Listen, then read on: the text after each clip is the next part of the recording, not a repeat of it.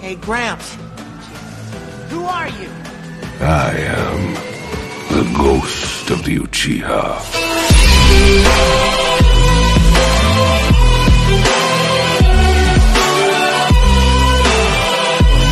For truly this reality is a hell.